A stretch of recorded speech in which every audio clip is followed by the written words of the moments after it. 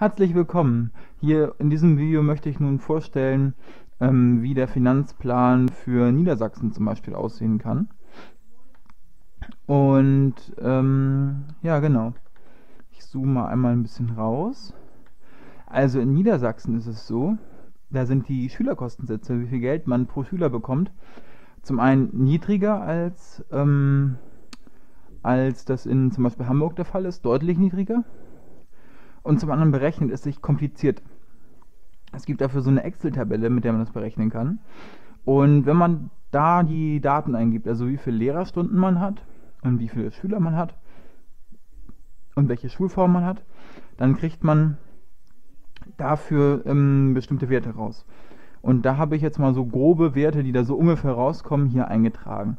Dieses Finanztool, also diese Excel-Tabelle, Die findet man äh, im Internet irgendwo auf der Seite vom Niedersächsischen Kultusministerium beim Thema, also in dem, zum Thema freie Schulen.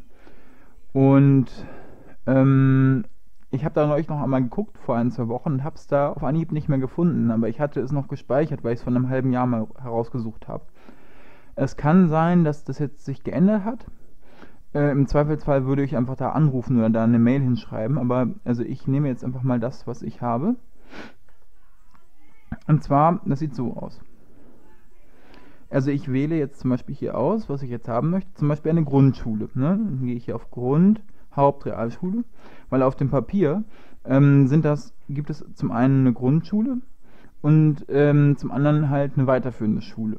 Und da gibt es mehrere Möglichkeiten, was das dann später weiterführend sein könnte, ob es eine Hauptschule, eine Realschule oder ein, eine KGS ist oder was weiß ich, oder eine IGS.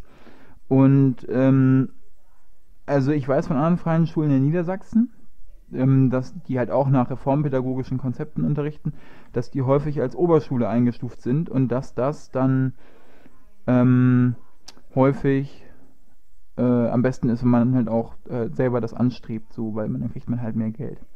Dass man halt so eingestuft wird im Bereich Oberstufe. Aber ich gehe jetzt mal auf Grundschule erstmal. Ne?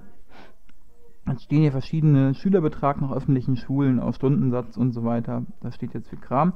Das interessiert uns jetzt aber erstmal nicht.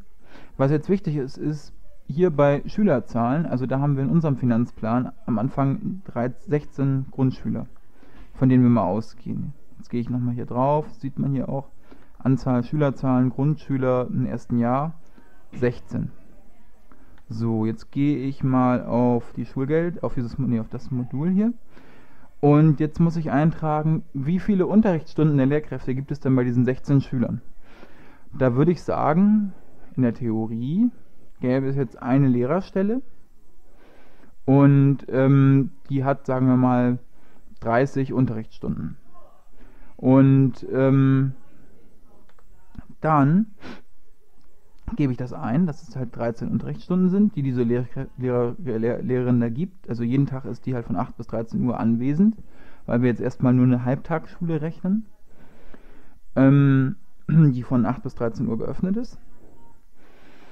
Und wenn man das eingibt, dann kommen da so Zahlen raus. Und am Ende steht hier Schülerbeträge an ihrer Schule, Festsetzung das als äh, Schülerbetrag wäre, was man jetzt kriegen würde. Pro Schüler 2570 ungefähr. Und dann gibt es aber noch einen maximalen Erhöhungsbetrag. Das sind insgesamt so gerechnet auf diese 41.000 Euro so ca. 20 Prozent. Und dieser Erhöhungsbetrag, der kann als ähm, zusätzliche Erhöhung ähm, zu den Sozialabgaben dazu gerechnet werden. Und man wird höchstwahrscheinlich auch eine Hilfe bekommen vom Staat zu den Sozialabgaben in Niedersachsen. Da gibt es so einen komplizierten Berechnungsschlüssel, aber man kann davon ausgehen. Und wenn man jetzt mal davon ausgeht, naja, 20% von 2500, 2600 sind halt so ne, 500 Euro. Und wenn man dann mal so ein bisschen konservativ rechnet, dann tragen wir einfach mal 2800 Euro oder so ein, oder 2900, so, ne. Jetzt so Pi mal Daumen habe ich ja 2800 Euro da mal eingetragen, weil hier ja auch die Sozialabgaben schon drin sind in diesem Plan. Und für die Oberschüler ist es genau das gleiche. Für die Oberschüler ähm, trage ich jetzt hier ein in der Oberschule.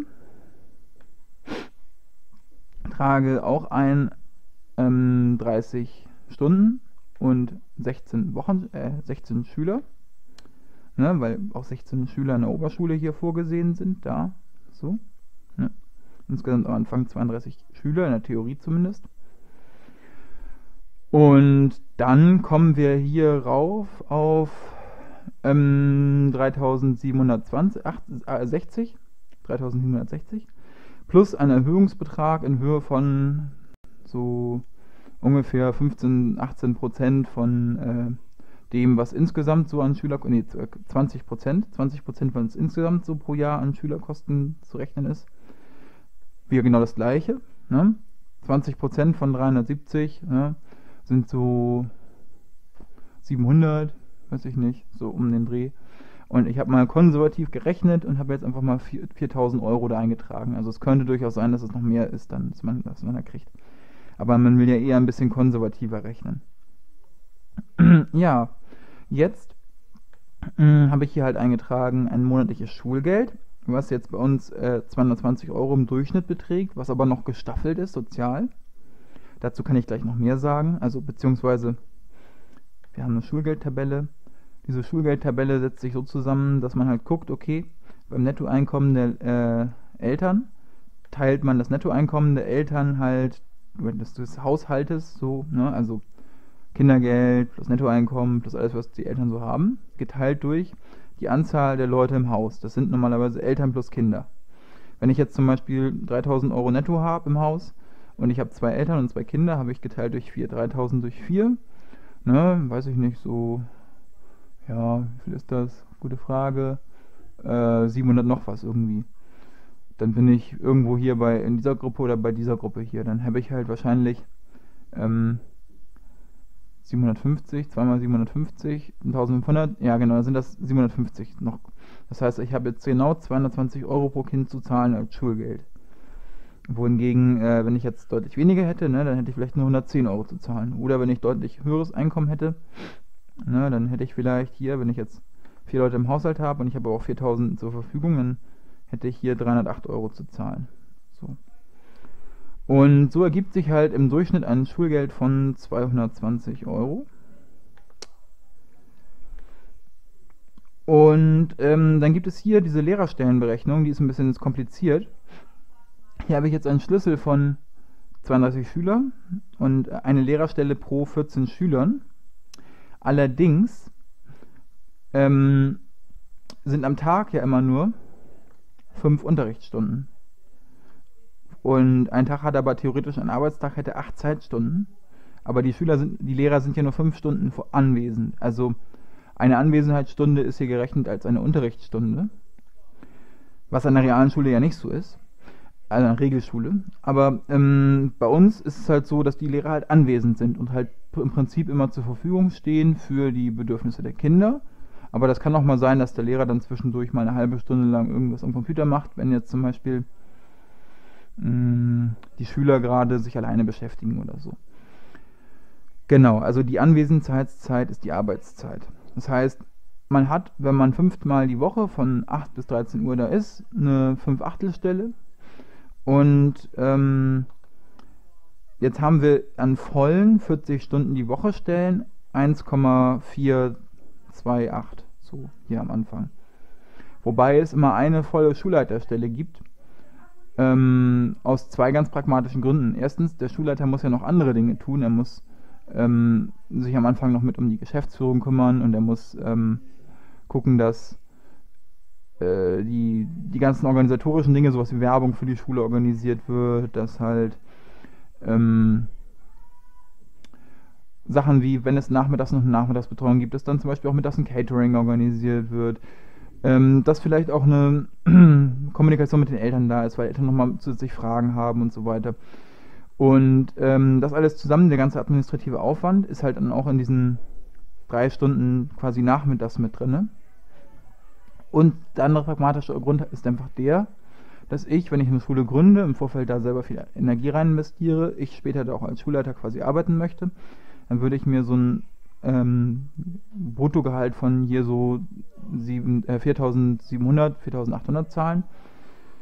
Was so ungefähr das ist, was ähm, man in der TVL E15-Gruppe kriegen würde, vom öffentlichen Dienst, in dieser Eingruppierung. Und äh, netto habe ich damit sogar noch einen Ticken weniger, als ich im Moment als verbeamteter Lehrer an der Regelschule habe. Also die, der Gedanke ist einfach der, dass ich nicht deutlich weniger haben will, netto, als ein normaler Lehrer an einer Regelschule, der verbeamtet ist. Ähm, weil ich habe ja auch mehr Verantwortung, ich gründe die Schule, ich habe auch ein Risiko, was ich eingehe. Und ich möchte dann nicht noch dafür extrem stark jetzt finanziell bestraft werden, dafür, dass ich so viel Risiko auf mich nehme und auch noch Verantwortung mehr trage. Ähm, genau. Dann ist es so, wenn jetzt ein Lehrer ganz normal angestellt ist, dann wird er halt auch nach TVL E13 bezahlt. Das wäre für eine volle Stelle 3500, ähm, so um den Dreh. Ne? Da kann man in Entgelttabellen das genauer nachgucken und dann kann man sich überlegen, ob man auf einen Pfennig genau oder auf einen Cent genau das zahlen will, was in den Tabellen drin ist, oder ob man das einfach sagt, okay, bei uns kriegen alle Lehrer irgendwie 3500 oder ob man das nach Erfahrung staffelt oder wie auch immer. Ähm, diese Gruppe hier E6, das fällt eigentlich weg, das ist für Erzieher, aber in Niedersachsen hat man, kann man einen Erzieher eh nicht als Lehrer einstellen. Und ähm, wenn man den so einstellt, dann kriegt man dafür also keine Förderung vom Land später, ab dem vierten Jahr. Von daher ist das eigentlich wurscht. Ähm, ja, also diese beiden Dinge hier spielen eine Rolle. Das heißt, neben der einen Schulleiterstelle gibt es hier noch 0,43 Lehrerstellen übrig jetzt so. Genau. Und ähm, wenn ich jetzt mal gucke, bei Einnahmen hat man am Anfang halt nur das Schulgeld. Alles andere habe ich mal auf Null gesetzt. Hort ist auch noch nicht mit drin. Also es wird ein Hort geben. Diese Hort ist aber, sieht aber so aus, dass es ähm, Mitarbeiter gibt oder, oder andere Leute halt, die ähm, eine Tagespflegeausbildung haben. Das ist so eine acht Wochenenden oder so Ausbildung. Und wenn man Erzieher ist, dann manchmal muss man das gar nicht machen. Ähm, und dann kann man als Tagespflegeperson für bis zu fünf Kinder nachmittags eine Hortbetreuung anbieten, die in Niedersachsen häufig auch ähm, finanziert wird von der Kommune, zumindest zu einem Teil, je nachdem, wie viel Geld man als Familie so verdient netto. Und ähm, dann kann man, können diese Menschen halt nachmittags ein Hortangebot machen. Das ist dann aber selbstständig. Das machen die dann halt unabhängig von der Schule als Träger die Schule kriegt dann vielleicht sogar noch ein bisschen Geld, weil sie ja offiziell die ähm, Räume vermietet. Das könnte sie aber auch symbolisch für einen Euro tun an die Tagespflegepersonen, weil die Schule das ja auch will. Und theoretisch könnten auch die Lehrer, die an der Schule angestellt sind, nachmittags da als Tagespflegepersonen arbeiten. Und äh, die würden dann aber auf eigene Rechnung da quasi dann arbeiten. Und auf die Art und Weise kann man halt das sicherstellen, dass es auch eine Nachmittagsbetreuung gibt, die dem Schulbetrieb sehr ähnlich ist rein formell darf man äh, nachmittags keine Dinge anbieten oder keinen Unterricht machen, der, ähm, sagen wir mal, vormittags jetzt pflichtmäßig zu belegen wäre. Aber da der Unterricht der vormittags sowieso hauptsächlich auf freier Basis ist, auf freiwilliger Basis, ist ähm, da dieser Übergang sehr schwammig und sehr frei und ähm, ja, äh, also der, die Hortbetreuung ist halt vom Gesetzgeber so gedacht, dass man da so Sachen macht, sowas wie AGs oder äh, Freizeitangebote und so. Aber wenn jemand jetzt in seiner Freizeit, sagen wir mal, ähm, Lust hat, nochmal mehr Mathe zu lernen, dann wird man ihm das ja nicht verwehren. So, also, hm. ähm, so viel zum Thema Hort- und Nachmittagsbetreuung. Und die Kinder, die halt nur vormittags kommen wollen, die kommen halt nur vormittags. Und die Schule ist von der Finanzierung unabhängig von diesem Nachmittagsangebot. Jetzt haben wir hier, so wie vorher in dem Beispiel für Hamburg besprochen, auch äh, die Gelder für die Mitarbeiter mh, und die stundenweisen Beschäftigten und die Sozialversicherung ist unten auch irgendwo. Ich finde es gerade gar nicht. Wo ist denn hier mal ein großer Posten?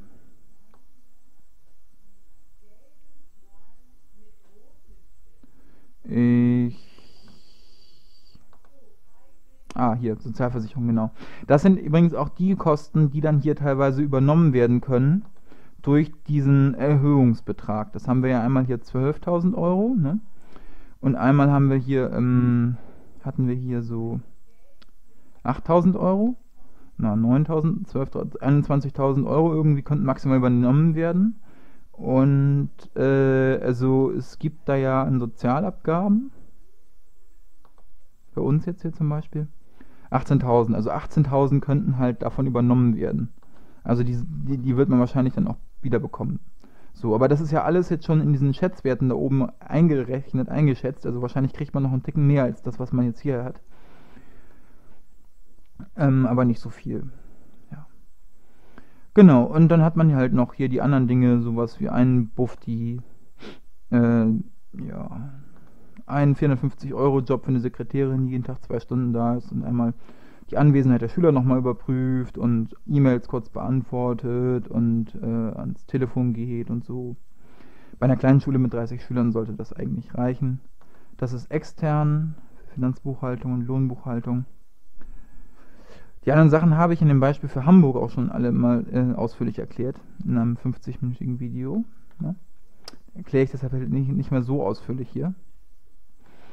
Werbungskosten, um ähm, Anzeigen, Facebook-Werbung machen zu können für die Schule, um vielleicht mal einen Werbefilm zu drehen, einmal im Jahr oder so, weiß ich nicht, keine Ahnung. Ähm, Lernmittel pro Schüler 100 Euro, das kriegt dann die Schulversammlung und damit kann die Schulversammlung dann äh, entscheiden, was man damit macht. Und das Geld, was von der Schulversammlung nicht verwendet wird, können die Schüler vielleicht auch auf unkompliziertere Art und Weise ausgeben. Fortbildung für Mitarbeiter, ja, viele Dinge. Reisekostenvergütung, falls die Lehrer einmal im Jahr zu einer Konferenz fahren wollen oder so. Oder zu einer Fortbildung. Reinigung eine 450 Euro Kraft am Anfang. Heizung haben wir jetzt im Moment hier sehr, sehr hoch eingetragen, weil wir ein sehr altes Gebäude im Auge haben, was wir vielleicht ähm, mieten wollen. Und ähm, das hat einen sehr, sehr schlechten Energieheizwert. Und deshalb habe ich da vorsichtshalber erstmal sehr viel eingetragen. Ähm, bei, der Mietkosten, bei den Mietkosten mh, ist dafür aber ein sehr, sehr geringer Wert eingetragen im Moment. Also mal angenommen, man würde das ganze Gebäude mieten, dann würde das gleich bleiben. Und das Gebäude ist aber so groß, da würden auch locker 80 Schüler reinpassen oder 90 Schüler. Das heißt, die ersten Jahre zahlt man da eigentlich ein bisschen zu viel. Aber dann später ähm, kann man, wenn man halt wächst, ne, auf mehr, dann hat man da keine höheren Mietkosten. Ja. Berufsgenossenschaft muss man Mitglied sein, damit die Mitarbeiter ähm, unfallversichert sind. Schüler sind in der Regel kostenlos unfallversichert. Muss man dann nach Bundesland jeweils sich erfragen. Erstausstattung ist auch ähm, sehr niedrig äh, ein, hier eingetragen. 20.000, es kann auch deutlich mehr sein, da müsste man vielleicht einen Kredit aufnehmen. Da muss man halt gucken, was man so bekommt. Wenn wir jetzt zum Beispiel das eine Haus bekommen, was wir im äh, Auge haben, das ist eine ehemalige Gaststätte, da könnte es sein, dass wir die ganze Einrichtung mitbekommen. Und dass wir dann ähm, schon genug Stühle und Tische haben. Und ähm, da muss man Toiletten auch und so. Und da müsste man halt gucken, was man sonst noch so braucht an ähm, Lernmaterial, ob man das vielleicht Secondhand gestiftet bekommt oder günstig bekommt oder ob man das als neu kauft. Ich meine, wenn man das als neu kauft, dann wird das ja schnell de deutlich, deutlich mehr als 20.000 Euro. Muss man mal gucken. Ne? Ähm, ja. Die anderen Sachen hatte ich auch schon gesagt. Rechtsschutzversicherung ist wichtig, falls man doch mal verklagt wird. Vermögensschadenshaftpflicht ist sehr wichtig. Die ist, glaube ich, ein bisschen teurer. Wie dieser Wert jetzt zustande kommt, weiß ich gerade nicht. Aber die ist sehr wichtig, falls der Vorstand oder die Schulleitung oder irgendwer mal ähm, ein Problem hat mit, ähm, dass das Geld mal irgendwie durch einen Überweisungsfehler verschwindet oder so und äh, also wo es nachweislich halt nicht vorsätzlich ist, aber wo dann halt äh, doch mal durch, durch eine Unaufmerksamkeit oder Fahrlässigkeit oder so Geld verloren geht, dass man da versichert ist, dass man halt nicht als Privatperson dafür haftet. Betriebshaftpflicht auch wichtig, falls mal jemand was kaputt macht, eine Kamera oder so. Wissenschaftliche Evolution, bei uns in unserem Konzept ist es auch vorgesehen, dass man halt die Schüler einmal im Jahr in Hinsicht Hinblick auf Selbstwirksamkeit und ähm, Glück und äh, Sozialbeziehungen und so, also subjektives Wohlbefinden, sagen die Experten, einmal testet. Mitgliedsbeitrag bei EUDEC, ja. Und wenn man das dann erstmal ausrechnet, kommt man drauf, dass man halt bei diesem Finanzplan hier dann im Jahre 8 wieder äh, raus ist aus dem Kredit. Und man könnte sogar davon ausgehen, bei diesem Gebäude jetzt, ne, da könnte man auch noch deutlich mehr als 50 äh, Kinder haben, da könnte man bis auf 70, 80 Kinder hochgehen. Und ähm, wenn man das macht, dann ähm, ja, dann äh, würde man wahrscheinlich deutlich mehr Geld haben auch noch. Dann würde das noch besser aussehen. Aber ich habe jetzt mit maximal 50 Kindern gerechnet, lieber ein bisschen konservativ. Und ähm, so, das ist jetzt der der Plan für Niedersachsen. Das ist jetzt nicht unbedingt der endgültige Finanzplan, das ist jetzt der aktuelle Stand für Schule des Lebens Schneeverdingen, für unsere Gründungsinitiative. Und äh, das wird sich sicher noch einiges ändern, wenn wir noch konkretere Infos an Vorgaben haben, vom Kultusministerium vielleicht und wenn wir auch nochmal ähm, genaueres zum Gebäude wissen und all solche Dinge, die dann noch eingeflossen fließen müssen. Aber man hat schon mal eine ganz gute Vorstellung davon, dass es so äh, funktionieren kann. Und viele Dinge werden wahrscheinlich auch so ungefähr bleiben. Also viele Post Kostenfaktoren, so wahrscheinlich gerade das Personal und so. Ja, ähm, später kann man übrigens, wenn man dann tatsächlich mal dahin kommt, im Jahre 8 oder so, dass man jetzt so einen Überschuss von 70, 60.000 Euro im Jahr hat, dann könnte man das Schulgeld vielleicht noch senken. Wenn man jetzt mal so guckt zum Vergleich, ne, da haben wir jetzt 70.000 Euro im Jahr. Das Schulgeld ist dann in diesem Jahr bei ähm, 130.000, also dann könnte man das um mehr als 50 Prozent senken. Man kann aber auch Rücklagen bilden, was vielleicht sogar noch sinnvoller ist, um dann später ein Gebäude zu kaufen oder anzubauen oder ähm, eine Zweigstelle zu gründen oder oder oder.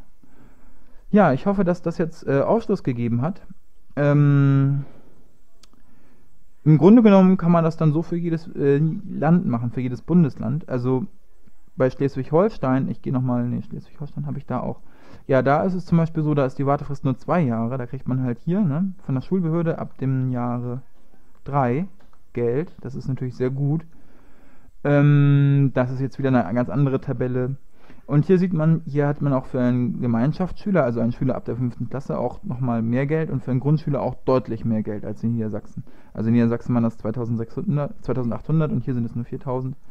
Also in Schleswig-Holstein ist es auch nochmal besser, finanziell gesehen. Aber ähm, wenn jemand noch Fragen hat, dann könnt ihr euch gerne an mich wenden. Bei äh, www.schoolsoftrust.com findet ihr meine E-Mail-Adresse und ähm, ich beantworte gerne jederzeit alle möglichen Fragen. Okay, dann wiederhören und bis dann. Ciao.